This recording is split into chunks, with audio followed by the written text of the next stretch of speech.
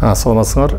Ооба биз бир топ жолугушууларды кылганбыз азыр макулдашып чыктык мен буга чейин да өзүмдүн партиялаштарым менен макулдашканбыз бул макулдашуунун негизинде мадумаров менен сариев биригип ак шумкар партиясы бүтүн кыргызстан партиясы менен бирдиктүү шайлоого барат биздин астыбызда бүгүнкү күндө чоң чакырыктар турат дүйнөдөгү болуп аткан чоң кризис пандемия.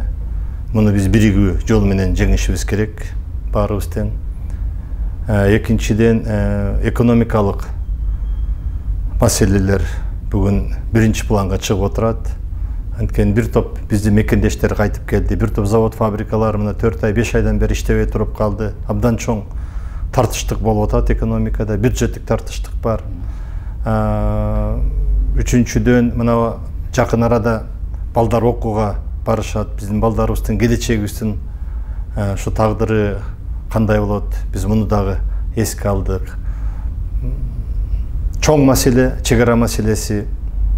Мына бул маселе дагы баарыбызды кыжаалат кылып турат. Мына ушулардын баарын бириктирип туруп биз ушу көп маселелер боюнча көз караштарыбыз дал келет. Биз буга чейин деле бир топ сүйлөшүп жүргөнбүз албетте эми саясатта ар түрдүү учурлар болот экен. Бирок мынакей жакын арада съезд болот. Биз ошол съездге катышып анан буюрса шайлоого чогуу барып алдыда чоң максаттар бар.